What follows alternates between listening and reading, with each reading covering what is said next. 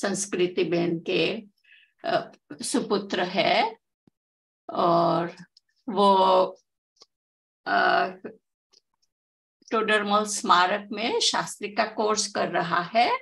तो शास्त्री का कोर्स का उसका एक साल हुआ, परंतु स्मारक में तीन साल से पढ़ रहा है। वो pre course I don't know के कल प्रज्ञेश भाई ने मुझे बताया कि you also have pre two years in your studies और अभी हाल में वो पिसंगज राइट पिसंगज दस लक्षण महापर्व के वहाँ प्रवचन शास्त्री के हिसाब से वहाँ दे रहे हैं। और आज हमारे साथ जुड़े हैं। आपका बहुत बहुत धन्यवाद आर्जव बहुत कई दिनों से हम पहले भी आपको पूछा था, तभी आपका नक्की नहीं था और we are so happy to have you तो हमारी मोना की सभा में आपका स्वागत है और अभी आपका सब्जेक्ट रहेगा दस धर्म के बारे में तो आज हम, आप आप शुरू कीजिए। आवाज़ आ रही है? हाँ हाँ आ रही है। मंगलाचरण के लिए हाथ जोड़ लेते थे नमो अर्हंताणम नमो सिद्धाणम नमो नमो वज्रायाणम् नमो लोये सवसाहुनम् मङ्गलं भगवान् वीरो मङ्गलं गौतमो गणे। मङ्गलं कुन्द कुन्दाद्यो जैन धर्मोऽस्तु मङ्गलम् सर्वमङ्गलमाङ्गल्यं सर्वकल्याणकार्यक्रम प्रधानां सर्वधर्माणां जैनं जयतु शासनम जैनं जयतु शासनम। उत्तम क्षमा मार्दव आर्जव भाव है। सत्य सोच संयम तप त्याग उपाव है। आकिंचन ब्रह्मचर्य धर्म दश सार है। चहु गति दुख ते कारी मुक्ति करतार है। दस लक्षण महापर्व प्रारंभ हो गए हैं आज से। ये कैसे है ये दस लक्षण महापर्व? जैसा कि अंतिम लाइन में आया चहु गति दुख से काड़ी मुक्ति कर तार है। चारों गतियों के जो दुखों से हमें निकाल दे, ऐसे हैं हमारे ये दस लक्षण महापर्व। अच्छा ये पीछे जो पर्व आ रहा है, ये पर्व क्या होता है? मतलब अपन ऐसे जनरली अगर बात करें तो पर्व से हम लोग क्या समझते हैं कि कोई पार्टी है, कोई फेस्टिवल है है लड्डू खिलाना ये खाना वो खाना पीना सारी चीज़ें यही चीज़ें कोई हमने बैंकुएट हॉल बुक किया और वहाँ पर जाके पार्टी कर रहे हैं। तो क्या ये होता है पर्व? तो हमारे जैनियों में जो ये पर्व होते हैं अष्टानी का पर्व दस लक्षण महापर्व ये पर्व इन सारी चीज़ों से संबंधित नहीं रखते हैं। ये सब भोग के नहीं त्याग के पर्व हैं। इनमें आत्मा से परमात्मा बनाया जाता है। आत्मा से परमात्मा बना जाए बनाया जाएगा हमें इन, इन दिनों। इनके अंदर अपने को ये लड्डू, पेड़ा, आदि और ये सारी चीज़ें खाने के लिए नहीं। ध्यान राय जी की पूजन में है ना, ध्यानत धर्म दस पैड़ी चढ़ी के शिव महल में पग धरा। ये दस धर्म है, ये सीढ़ियाँ है, ये दस सीढ़ी है। इन पे एक एक पे अगर अपन चढ़ गए तो फिर सीधे मुक्ति, सीधे शिव महल, मोक्ष महल के अंदर पग धरेंगे। उससे पहले का कोई ऑप्शन नहीं है अपने पास में। इसलिए हमें इन दस धर्मों को अपनाना है सही से। ये दस, अपन लोग कहते हैं दस धर्म है। तो क्या ये दस धर्म है? ये दस धर्म नहीं है, ये धर्म के दस लक्षण है। धर्म तो हमारा एक ही है, जैन धर्म, बस। ये तो उसके दस लक्षण है। उत्तम, क्षमा, मार्दव, आर्जव, सत्य, सौत, संयम, तप, त्याग ये धर्म नहीं है, ये धर्म के दस लक्षण है। अपनी आत्म स्वरूप की प्रतीति पूर्वक चारित्र की दस प्रकार से आराधना करना ही दस लक्षण धर्म है। अपना जो आत्मस्वरूप है ना, उसकी जैसे हम प्रतीति करेंगे और अपने चारित्र में दस प्रकार से उसकी आराधना करेंगे तो जो प्रकट होएगा ना, वो ये दस धर्म है। ये जो दस धर्म हम लोग सुनते हैं, ये किन के? मतलब आप सोचो कि ये मिथ्या दृष्टियों के हो जाएँगे। तो ये जो दस धर्म है, ये कषायों की, कषायों के अभाव से होते हैं। और मिथ्या दृष्टियों के कषायों का अभाव है नहीं तो उनके तो ये हो ही नहीं सकते। अपन लोग अगर ये सोचे कि ये अगर उनका अभाव हो जाएगा या फिर समझ लो हमें मंदता दिखाई दे। जैसे मिथ्या दृष्टि है, किसी को क्रोध नहीं आ रहा, मंदता दिखाई दे तो उनके हो जाएगा। तो ऐसा नहीं है। ये उनके भी नहीं होएगा। ये उन्हीं के होएगा जिनके इसका पूर्णता अभाव हो जाए। तो इसी के अंदर प्रथम कषाय जो है अपनी, कौन सी? क्रोध कषाय। उसके अभाव पूर्वक जो प्रकट होता है, ऐसा उत्तम क्षमा धर्म। आज का दिन उत्तम क्षमा का ही दिन है। तो क्या है ये उत्तम क्षमा? उत्तम क्षमा, ये क्षमा जो है ना, क्षमा जो शब्द आ रहा है इसमें, ये आत्मा का स्वभाव है। ये आत्मा का गुण है। जैसे मिश्री का स्वभाव होता है ना, चीनी का स्वभाव मिठास होता है। तो वो उसके एक एक प्रदेश में है। वैसे ही क्षमा जो है, ये आत्मा का स्वभाव है। एक एक प्रदेश के अंदर ये पाया जाता है हमारे। ये स्वभाव कभी मिटता नहीं और विभाव कभी टिकता नहीं। स्वभाव जो है वो कभी भी नहीं मिटेगा। और विभाव आप कितनी भी कोशिश कर लो, वो टिकेगा नहीं। ऐसी इस क्षमा स्वभावी आत्मा के आश्रय से आत्मा में जो क्रोध के अभाव रूप शांति जो उत्पन्न हुई है, शांति स्वरूप जो पर्याय प्रकट होती है, वह ही उसे भी क्षमा कह दिया जाता है। ये क्षमा की परिभाषा हुई। उत्तम क्षमा धर्म की नहीं, क्षमा है ये। मतलब क्रोध के अभाव रूप जो शांति प्रकट हुई, ये क्षमा है। क्षमा धर्म नहीं है है ना? अब ये क्रोध के अभाव, हर जना आप किसी से भी पूछोगे तो वो क्रोध से ही इसको जोड़ेगा। तो ये क्रोध क्या है? क्रोध वास्तविक, क्रोध का वास्तविक स्वरूप क्या है? तो ये क्रोध आत्मा की एक ऐसी विकृति है, ऐसी कमज़ोरी है, जिसके कारण यह जीव क्रोध करने वाला, जो जीव है, वह अपना पूरा विवेक खो देता है। वो भले बुरे की पहचान नहीं रखता। क्या कर रहा है, क्या करेगा, किसके साथ में क्या बोल रहा है, कुछ भी बोल देगा, उसको कुछ विवेक नहीं है। एक भी चीज़ का, वो किसी पे क्रोध आने पर उसको गाली देने लगेगा, मारने लगेगा अपनी जान जोखिम में डालकर भी वो सामने वाले से बदला लेना चाहेगा, उसका बुरा करना चाहेगा।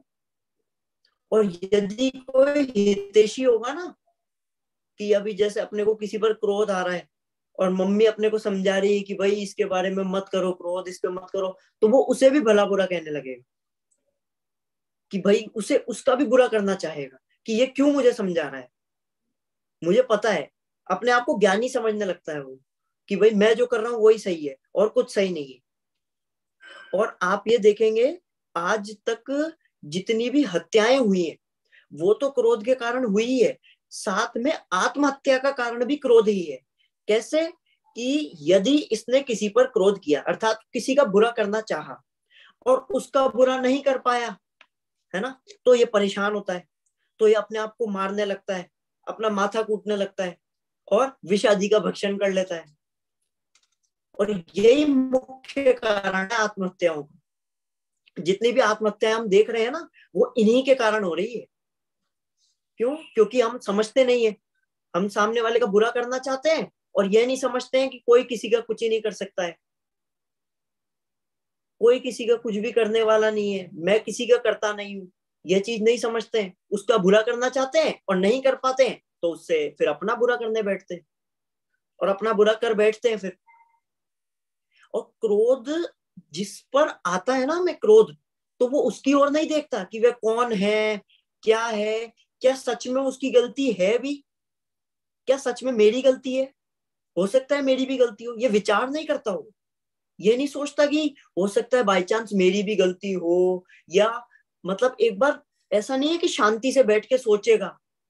कि भाई हो सकता है गलती से मेरी भी गलती हो सकती है, उसकी भी गलती हो सकती है, हो सकता है सामने वाले की कोई मजबूरी रही हो, वो इन चीज़ों का विचार नहीं करता। दादा का आप जब भी प्रवचन सुनेंगे ना तो वो एक उदाहरण हमेशा देते हैं इस संबंध में, कि एक सेठ है है ना, और एक नौकर है। सेठ जा रहा था और ग्लास ऐसे कांच का गिलास नीचे रखा था और सेठ के पैर से ठोकर लग गई और वो कांच का गिलास फूट गया, है ना तो वो एकदम से चिल्ला कर कहेगा कि ये ग्लास नीचे किसने रखा है यहाँ पर? नौकर की गलती दिखाई देगी उसको। ये नहीं देखेगा कि खुद देख कर नहीं चल रहा। और अगर यदि इसका उल्टा हो जाए कि नौकर अगर जा रहा हो है ना और गिलास उसी ने रखा हो लेकिन नौकर के पैर से ठोकर खा के वो गिलास टूट जाए तो भी वो उसी पर चिल्लाएगा कि अंधा है क्या? देख कर नहीं चल सकता? बिल्कुल भी देख कर नहीं चल सकता क्या? मतलब स्वयं की गलती दिखाई नहीं देती है इसको जिस पर क्रोध आता है ना, वो बिल्कुल विचार नहीं करता है, अपना विवेक खो बैठता है। उसको ये नहीं रहता कि हो सकता है सामने वाले की भी गलती हो। भाई, गिलास और समझ लो गिलास उसी ने रखा हो, है ना? और उसी से ठोकर खा के गिर भी जाए। तो कहता है कि ये अब इसके अंदर भी नौकर की गलती है। क्यों? कि उसने उठाया नहीं। उसको उठा लेना चाहिए था वहाँ से। बिल्कुल भी मतलब विचार करने की क्षमता ही खो बैठता है। और ये क्रोध ऐसा नहीं है कि आप अपनाना, चिड़चिड़ाहट, ये सारी चीज़ें भी क्रोध के अंतर्गत ही आती है। बैर है ना, बैर। ये बैर दादा इसको मतलब आचार कहते थे, क्रोध का आचार या मुरब्बा जो है ना, उसको बैर कहेंगे। वो बैर कहलाता है। क्यों? कि बैर यानी ये हुआ क्रोध यानी तो होता है कि अपन ने तत्काल उसके प्रति प्रतिक्रिया दे दी। जैसे हमें किसी ने कुछ कहा और हमने तत्काल उसके खिलाफ कुछ बोल दिया, कर दिया, मार दिया, जो भी करना था कर दिया। लेकिन बैर जो होता है वो तत्काल प्रतिक्रिया व्रत नहीं करता, वह उसको अपने मन में बिठा लेता है। और बाद में बदला लेने की मतलब योजना से बदला लेने की सोचता है। और ऊपर से देखने पर तो आपको ऐसा लगेगा कि ये क्रोध जो है ये ज़्यादा खतरनाक है और बैर कम खतरनाक है, परंतु ऐसा नहीं है। क्रोध कम खतरनाक है और बैर ज़्यादा खतरनाक है, क्योंकि ये योजना से किया जा रहा है। मतलब उसके अंदर सामने वाले का विनाश निश्चित है कि उसके, आपने समझ लो प्लानिंग कर ली कि इसको मारना है। है ना? आपने प्लान बना लिया कि मैं ऐसे ऐसे करके इसको मारूँगा। आपने पूरी प्लानिंग कर ली, एक आपने एक स्नाइपर हायर कर लिया, वो इस लोकेशन पे आएगा और पूरी अपन मूवीज़ के अंदर देखते हैं, है ना? और वो उसको मारना है। ये चीज़ अपन ने फिक्स कर ली तो वो मरेगा। लेकिन क्रोध के अंदर ऐसा नहीं है। आप तत्काल किसी को, किसी के साथ में ऐसा नहीं कर सकते। जब आपका उसके साथ में बैर होगा, आप उसकी प्लानिंग करोगे, योजना बनाओगे उसके विनाश की तो निश्चित उसका विनाश होएगा। और इसीलिए बैर अधिक खतरनाक है क्रोध से। और क्रोध जो है, वो तो बहुत कम काल के लिए होता है। क्रोध तो ऐसे होगा कि जैसे हमें किसी ने भला बुरा कहा, हमने भी उसको भला बुरा कह दिया, या हमें किसी ने मारा, हमने भी उसको मार दिया और क्रोध खत्म।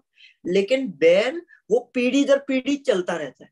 मतलब जैसे मेरे पापा को जिससे नफरत होगी ना, मुझे भी अपने आप उससे नफरत होने लगेगी। मुझे भी अपने आप उसके प्रति कि यार ये क्यों आ गया, ये क्या है? पापा जैसे उसको बोलते होंगे ना, वैसे ही मैं बोलता रहूँगा उसको। कि ये तो ऐसा है ये तो ऐसा है भले ही वो अच्छा हो उसने मेरा कुछ ही नहीं बिगाड़ा हो लेकिन मेरे पापा का बिगाड़ा था इसके चक्कर में मैं भी उसी के साथ में ऐसा ही व्यवहार करूँगा दुर्व्यवहार करूँगा हमेशा। वो संस्कार आ जाता है हमारे में आज भाई ऐसा ही रहता है। ये क्रोध के जो मूल कारण है ना उसको नहीं समझता है और सोचता है कि क्रोध दूर हो जाएगा। क्रोध आदि की उत्पत्ति का मूल कारण ये है कि अपने सुख दुख का कारण दूसरों को मान रखा है। ये सोचता है कि मतलब कोई दूसरा कुछ करेगा तो मैं सुखी हो जाऊँगा, दूसरा मेरा भला करेगा तो मैं सुखी हो जाऊँगा, दूसरा मेरा भला करेगा भला करेगा तो मैं सुखी होऊँगा और बुरा कर देगा तो मैं दुखी हो जाऊँगा। दूसरे ने मेरे को गाली दे दी तो मैं दुखी हो गया कि भाई उसने मेरे को गाली क्यों दी? मतलब दूसरे के पर पर जितने भी पर है, पर पदार्थ है, उनके कारण अपने आप को सुखी दुखी मानता है। यह क्रोध की उत्पत्ति का मूल कारण है। और मात्र क्रोध ही नहीं मान की भी उत्पत्ति का यही कारण है। उत्तम मार्धव में अपन इसकी चर्चा करेंगे। कैसे? कि अपन के कोई सुख मतलब जैसे कोई अपनी प्रशंसा करे है ना? तो अपन उसके प्रति मान करने लगते हैं अपन उसको अपने साथ रखेंगे हाँ, है। ना? लेकिन जो हाँ, दुखी दुखी मतलब जो अपने को दुखी करे जो बार बार गाली दे मारे और भला बुरा कहे है ना? उसको दूर रखना चाहते हैं। तो इसी की वजह से यह जो है मूल कारण है, क्रोध आदि की उत्पत्ति का मूल कारण यही है कि यह अपने आत्मा को जो सुखी दुखी करने वाला है, उसकी ओर दृष्टि नहीं करता है। ये क्रोध जो है ये आत्मा के आश्रय से ही होता है। मतलब क्रोध का अभाव आत्मा के आश्रय से ही होएगा। है ना? और इसी के कारण जो प्रारंभ में बात कही थी ना कि मिथ्या दृष्टि के आत्मा का आश्रय नहीं है, इसलिए उसके कोई भी धर्म प्रकट नहीं हो सकता, अर्थात उत्तम क्षमा भी उसके प्रकट नहीं हो सकती। क्रोध का अभाव उसके नहीं देखने में आता है। हाँ ऐसा ज़रूर हो सकता है कि आपको ऐसा लगे कि उसके क्रोध का शायद मंद है। मतलब वो है, उसको किसी ने कुछ कहा और उसने तत्काल उसकी कोई प्रतिक्रिया नहीं दी और उसको टाल दिया तो आपको लगे कि भाई, इसके तो उत्तम क्षमा प्रकट हो गई है, उत्तम क्षमा धर्म प्रकट हो गया है, पर वह असली उत्तम क्षमा नहीं है। वह तो उसकी मंदता है। वो प्रॉपर उत्तम क्षमा धर्म नहीं है वो वो उसकी मंदता कहलाई कि भाई उसने तत्काल उसकी प्रतिक्रिया नहीं दी, या चलो ऐसे आने जाने दिया कि भाई ठीक है, ये तो ऐसा ही है, बोलता रहेगा, जाने दो। तो ये इसका, ये ऐसा कह देना या ऐसा मान लेना उत्तम क्षमा नहीं वास्तविक उत्तम क्षमा तो इससे भिन्न है। क्या है वास्तविक? कि निश्चय से तो क्षमा स्वभावी आत्मा के आश्रय से पर्याय में जो क्रोध आदि रूप विकार की उत्पत्ति नहीं होना ही उत्तम क्षमा है। और व्यवहार से क्रोध आदि के निमित्त मिलने पर भी उत्तेजित नहीं होना, उसका प्रतिकार रूप प्रवृत्ति नहीं होना ही उत्तम क्षमा है। निश्चय से क्या कह दिया कि अपनी क्षमा स्वभावी आत्मा, ये जो आत्मा है, ये क्षमा स्वभावी है, उसके आश्रय से पर्याय में क्रोध रूप विकार की उत्पत्ति ही नहीं होना मतलब उत्पन्न ही ना हो। ऐसा नहीं है कि मंद हो या तीव्र हो, तब वो होगा उत्पन्न ही ना हो। अभाव, सर्वथा अभाव, पूर्णता अभाव क्रोध का, वह है उत्तम क्षमा, असली में। और व्यवहार से कि उत्तेजित नहीं होना, किसी ने कुछ कह दिया, वो ध्यान राय जी की पंक्ति है ना वो कि गाली सुन मन खेद न आनो, गुण को अवगुण कहे बखानो। फिर कहिए बखानो, वस्तु छीने, बाँध मार विधि करे। घर ते निकारे, तन विदारे, बैर जो न तहा धरे। मतलब गाली दे दी किसी ने। अच्छा मैं आप सभी से प्रश्न पूछता हूँ एक कि आप सभी कई बार ऐसा कहते होंगे ना कि वैसे तो मेरा स्वभाव बहुत शांत है मतलब मैं एकदम शांत रहता हूँ लेकिन कोई मुझे छेड़ दे उसके बाद तो फिर पूछो मत मैं उसकी मतलब ऐसी की तैसी कर देता हूँ। बिल्कुल सोचता नहीं हूँ कि कौन है जो मन में आएगा वो कह दूँगा है? हाँ? कई बार कई बार ऐसा कहने में आ जाता है। हाँ हाँ और और यहाँ वो अपने क्रोध का ही अभिमान करता है फिर। हाँ यही कारण है। है ना? तो क्या लिखते कि गाली सुन मन खेद ना आवे, किसी ने आपको गाली दे दी, है ना? ये क्षमाधारी तो वह है जिसे गाली सुनकर भी क्रोध ना आए। क्रोध की उग्रता तो दूर मन में भी ना आए। मतलब क्रोध करना तो दूर। चलो, आपको ऐसा लगे कि उसने सामने से नहीं किया। मतलब मेरे को किसी ने गाली दी तो मैंने उसको गाली नहीं दी। मतलब उत्तम क्षमा हो। उसके मन में भी खेद तक उत्पन्न ना हो, तब क्षमा है। तब वह असली क्षमा है कि गाली सुनकर मन में भी खेद की उत्पत्ति ना हो। और चलो, यहाँ तक ऐसा हो भी सकता है कि किसी को ना हो, भाई कोई इग्नोर कर दे। फिर आगे क्या लिखते गुण को अवगुण कहे बखानो कि अपने जो गुण है, जो अपनी क्वालिटीज है, उसको तो कहे नहीं। और जो अपनी नहीं है क्वालिटीज उनको बताए। और वो भी कहा? ऐसे नहीं कि अकेले में आपको बता दे। सभा में, सबके बीच में। जैसे समझ लो एक उसने पार्टी ही एक ऑर्गेनाइज की हो, जिसके अंदर मैं इसकी बुराई करूँगा, ऐसे। है ना? तो फिर कितना गुस्सा आएगा अपने को? कितना उसके प्रति क्रोध उत्पन्न होएगा अपने कि? भाई, मेरे जो गुण है, जो मेरी क्वालिटीज है, उनको तो ये बता नहीं रहा है। और उसकी बजाय उन्हीं को विपरीत बताते थे आपने वो स्वामी विवेकानंद वाला वो कहानी सुनी कि स्वामी विवेकानंद जो थे ना वो हम्म। बहुत ही मतलब सादगी से अपना जीवन व्यतीत करते थे। बिल्कुल उनको किसी के प्रति कोई राग नहीं था कोई द्वेष नहीं था और एकदम सुख समृद्धि से वो अपना मतलब जीवन व्यापन करते थे। तो ऐसे ही वो एक बार ट्रेन में जा रहे थे है ना? और ट्रेन में जा रहे थे तो उनकी वेशभूषा भी वो इतनी साधारण थी कि कोई पहचान नहीं सकता था कि वह विद्वान है या कोई ऐसे मतलब महापुरुष है जो इतने मतलब सारी चीज़ों का पालन करते हैं, जो अपने आचरण जो है मतलब उनका बहुत शुद्ध आचरण है। कोई पहचान नहीं सकता था। ऐसे वो मतलब एकदम नॉर्मल वेशभूषा में थे। तो ट्रेन में जा रहे थे और ट्रेन में जा रहे थे और उन्हीं के साइड में दो तीन अंग्रेज़ लोग बैठे थे। तो अब अंग्रेज़ लोग बैठे थे तो वो लोग उनके बोलने लगते हैं मतलब ऐसा कहने लगते हैं कि उनको क्या है ना बहुत नफरत होती है। ये जो संत साधु लोग होते हैं ना जो ये फालतू का आचरण अब अंग्रेज़ वो क्या समझे इन चीज़ों को है ना? उनको मतलब ये बहुत ऐसा लगता था कि यार ये क्या है फालतू की चीज़ें हैं है ना? और इन चीज़ों को क्यों पालन करते हैं? तो फालतू का लगता था तो वो उनकी बुराई करने लगे है ना? और बुराई भी वो इसलिए कर रहे थे क्योंकि उनको लग रहा था कि मैं तो इंग्लिश में बोल रहा हूँ है ना? किसको समझ में आएगी यहाँ तो सब ऐसे ही बिल्कुल हाँ। अनपढ़ और बिल्कुल बिना पढ़े लिखे लोग हैं किसी को कुछ समझ आएगा नहीं तो वो बुराई करने लगे। बहुत देर तक बुराई करने लगे। अब बुराई करते करते उनने इतनी बुराई की कि उनका गला सूख गया। गला सूख गया तो उनको पानी चाहिए था। अब स्वामी विवेकानंद ये बात समझ गए कि भाई इनको पानी चाहिए, है ना? पानी चाहिए तो वो क्या करते हैं? अगले स्टेशन पर खुद बाहर जाते हैं और ऐसे गेट पे जाकर जो पानी वाला, समझ लो कोई पानी बांट रहा हो उसको बुलाते हैं और कहते हैं कि इनको पानी दे दो। है ना? तो वो उनको हम्म। देख कर लगता है कि यार ये कितने मतलब कितने सज्जन है। इनने कितने अपने आप मतलब पहचान लिया। उनने उनके इस आचरण से उनके इस स्वभाव से कि ये हम इतनी देर से इनकी बुराई कर रहे थे।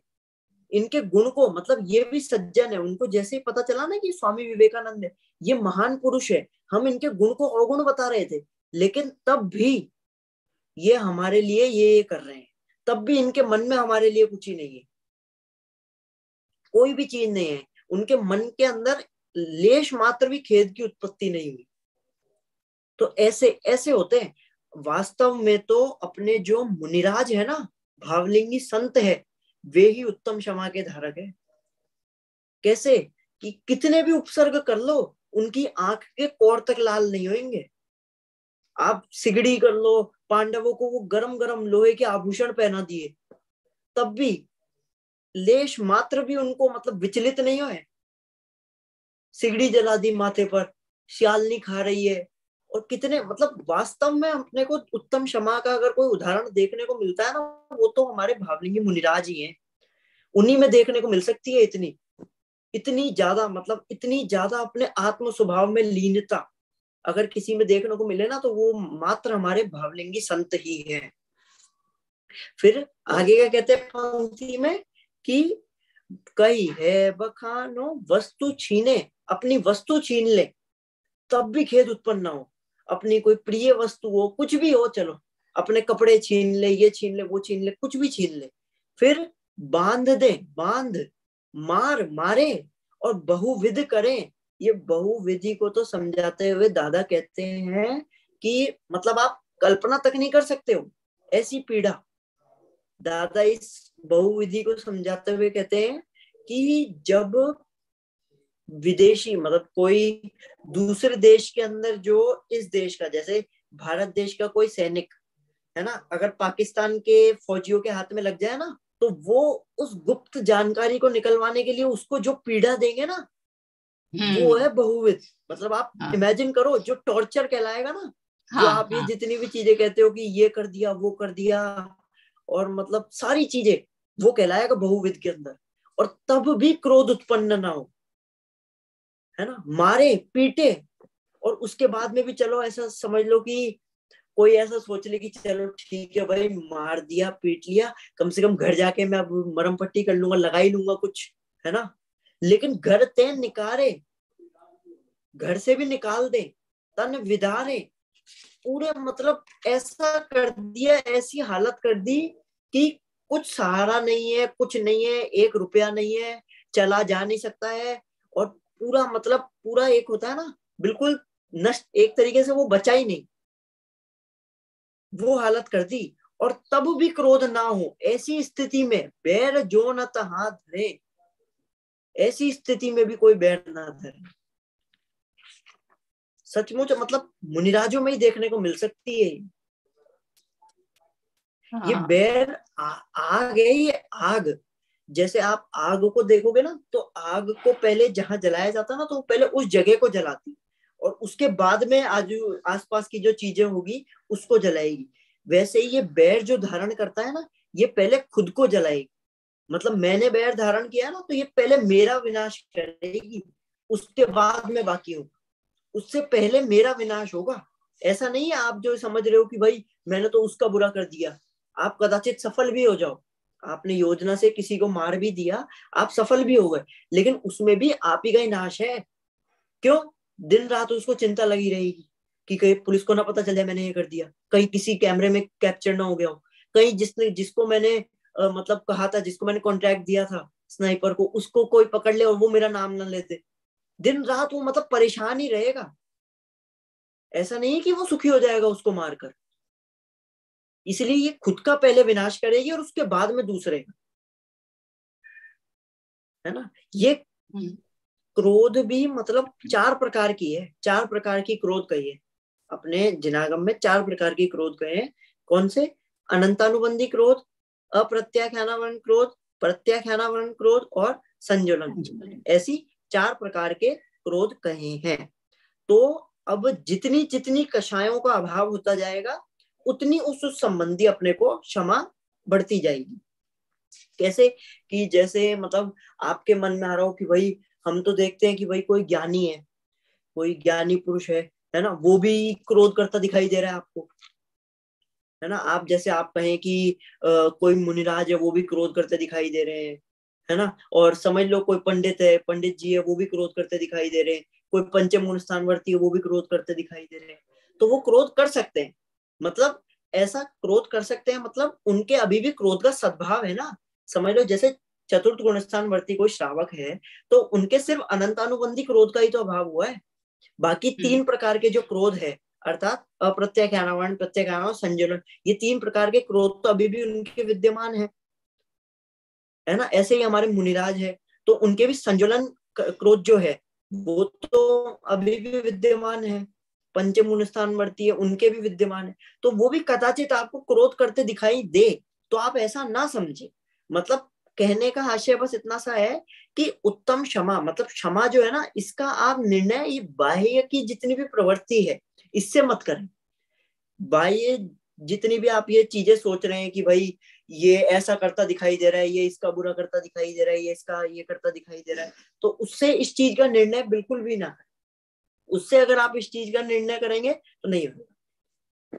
ये अनंतानु मतलब दादा लिखते हैं कि अनंतानुबंधी क्रोध के अभाव से उत्तम क्षमा प्रकट होती है। कब प्रकट होगी कि जब अनंतानुबंधी क्रोध का अभाव होगा मतलब चतुर्थ गुण स्थान में जब आ जाएगा है ना? जब उसको हाँ। सम्यक दर्शन की प्राप्ति हो जाएगी तब उसके अनंतानुबंधी क्रोध का अभाव होएगा। और अप्रत्याख्यानावरण जो है अप्रत्याख्यानावरण क्रोध के अभाव से उत्तम क्षमा जो है वह पल्लवित होती है। और प्रत्याख्यानावरण क्रोध के अभाव से उत्तम क्षमा में वृद्धि होगी और जब संजुलन क्रोध ये भी पूर्ण हो जाएगा इसकी पूर्णता से उत्तम क्षमा की पूर्णता होगी। मतलब संजुलन के संजुलन क्रोध के अभाव से जो प्रकट होगी ना वो होगी उत्तम क्षमा। वो उत्तम क्षमा की पूर्णता होगी। वह है असली उत्तम क्षमा। आज तक मतलब अनंत संसार का जो अनुबद्ध करने वाली जो ये अनंतानुबंधी है ना हम्म। ये क्या है? ये क्रोध आत्मा के प्रति अरुचि का नाम है। अनंतानुबंधी क्रोध जो है ना ये वास्तव में अपनी आत्मा के प्रति अरुचि। क्या है ये? मतलब आत्मदर्शन, अपनी आत्मा के प्रति अरुचि। जिन्हें आत्मा की बात करना पसंद नहीं है, सुनना पसंद नहीं है, आत्मचर्चा पसंद नहीं है। चलो, आत्मचर्चा करने वाले तो ठीक, आत्मचर्चा नहीं करना तो ठीक, आत्मचर्चा करने वाले पसंद नहीं जो आत्मा की चर्चा करते दिखाई देते हैं ना, वो उनको नहीं सुहाते हैं। है ना? आत्मा के प्रति अनंत क्रोध, वह असली अनंतानुबंधी क्रोध। और इसी के कारण हमें सम्यक दर्शन नहीं हो रहा इसी के कारण हम कौन है? मैं कौन हूँ? ये नहीं अपन पहचान पा रहे। ये अनंतानुबंधी क्रोध के कारण है। क्यों? क्योंकि अपने आत्मा के प्रति अरुचि है। अपने को वह अपने आत्मा की जो बात है, मेरी जो बात है, पर जितनी भी भारी जितनी भी बात होगी, वो तो अपने को सुनने में बड़ा आनंद आता है। जितनी भी फालतू की बातें जितनी भी करा लो। आज बिज़नेस में ये हुआ आज मोदी इससे मिल लिया आज आपके वहाँ पर कौन बाइडन इससे मिला उससे मिला ये पच्चीस तरीके की चीज़ें अपन दिन में दस बार करेंगे। मंदिर भी जाएँगे तो भी इन्हीं चीज़ों पर ध्यान देते रहेंगे। कि भाई मैं आ, क्या कहते हैं बाहर मंदिर को तो ऐसे मीटिंग पॉइंट बना रखा है। जाएँगे भगवान के दर्शन तो दो मिनट बाहर बैठे बैठे दस मिनट तक गप्पे लड़ाते रहेंगे। मतलब मंदिर तो ऐसा बना रखा है अपन ने सलाह सूचन केंद्र जहाँ पर अपने को पूरी सूचना मिल जाए कि भाई हाँ। इसके साथ में ऐसा हो गया इनके घर में ये हो गया उनके घर में वो हो गया और सारी चीज़ें जितनी भी चीज़ें है ना न्यूज़ बुलेटिन स्थान बना रखा है अपन ने मंदिर हाँ। बिल्कुल न्यूज़ बुलेटिन बना रखा है हाँ। कि मंदिर जाएँगे मतलब पता अपने को तब चलता है जब अपन मंदिर जाते हैं कई बार ऐसा होता है जिस दिन मंदिर नहीं गए ना और अगले दिन गए तब पता चलता है अच्छा ऐसा हो गया हमें तो पता ही नहीं था। और फिर पूछते क्यों? क्योंकि कल हम मंदिर नहीं आए थे ना इसीलिए हमें पता नहीं था।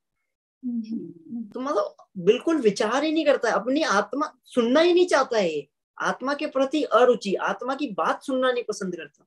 और जो आत्मा की बात करते हैं उनको भी पसंद नहीं करता। मतलब आचार्य देव कहते हैं कि अपन ने पर को तो अनंत बार क्षमा किया है आज तक लेकिन अपने को अपनी आत्मा को क्षमा नहीं किया है आज तक। और जिस दिन मतलब एक बार जिस दिन ये अपनी आत्मा को क्षमा कर देगा ना, उसकी ओर देख लेगा, उसकी ओर सुध ले लेगा, उसकी ओर दृष्टि ले आएगा, अपनी आत्मा को देख लेगा, जान लेगा, परख लेगा, है ना? तो सहज ही, अपने आप ही, सहज रूप से ये उत्तम क्षमा तेरे घट में प्रकट हो जाएगी, अपने आप प्रकट हो जाएगी। कुछ करने की नीड नहीं है, कुछ भी नहीं करना है, कुछ भी नहीं। एक भी चीज़ करने की नीड नहीं है। सिर्फ़ अपनी आत्मा के प्रति रुचि जगानी है अपने को। ये जानना है, ये श्रद्धान करना है कि मैं कौन हूँ? मैं आत्मा हूँ, मैं त्रिकाली ध्रुव ज्ञायक तत्व हूँ। बस इस चीज़ का निर्णय करना है। ये क्षमा स्वभावी आत्मा का अनुभव करने पर, आश्रय करने पर जो पर्याय प्रकट होगी ना, वही उत्तम क्षमा की पर्याय है। ये आत्मानुभवी सम्यक दृष्टि जीव के जो उत्तम क्षमा प्रकट हुई, है ना? तो चौथे गुण स्थान वर्ती जो हुआ ना मतलब सम्यक दृष्टि जो अभी अभी हुआ है, जो ज्ञानी जीव है, उसके तो उत्तम क्षमा प्रकट हुई। और आत्मानुभव की वृद्धि करने वाले के उत्तम क्षमा बढ़ती गई। और आत्मा में ही जो अनंत काल तक लीन हो गए, अनंत काल तक अपनी आत्मा में ही समा गए वो, उनके उत्तम क्षमा पूर्ण हुई, उनके उत्तम क्षमा पूर्णता प्रकट हो गई। उत्तम क्षमा पूर्णता उन्हीं के प्रकट है जो अपनी आत्मा का अनुभव करते जो अपनी आत्मा में रुचि करेंगे हम्म। आप रूप को जान पनो तो सम्यक ज्ञान कला है ये आत्मा की जो रुचि है ना यही वास्तविक उत्तम क्षमा है हम्म। और हम सभी भी ऐसी उत्तम क्षमा को प्राप्त करें और अपनी आत्मा के प्रति रुचि करें और अनंत अनंत काल तक उसी सिद्ध दशा